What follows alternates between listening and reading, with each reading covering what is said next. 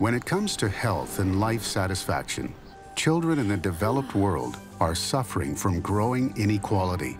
UNICEF's new Innocenti report card, Fairness for Children, offers a detailed look at how children in the bottom 10% are falling behind their peers in the middle in 41 wealthy countries.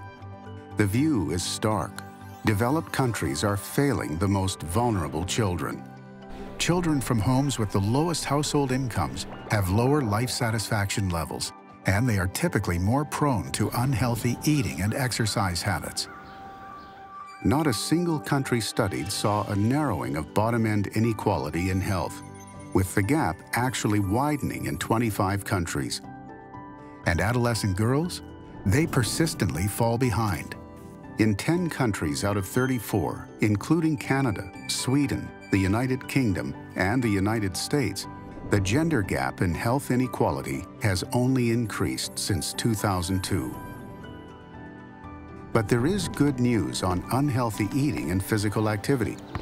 Gaps in poor diet improved in most of the countries examined, and physical activity inequality narrowed in most countries. Every child deserves to feel safe and happy.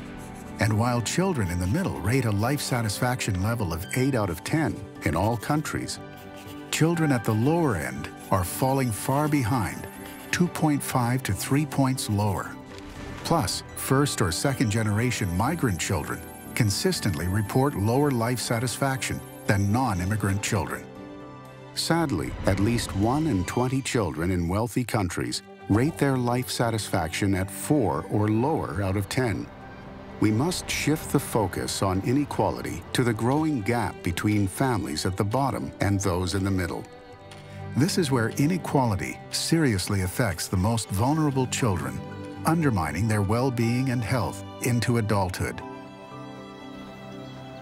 Let's put the most vulnerable children at the forefront of efforts to build a more equal world.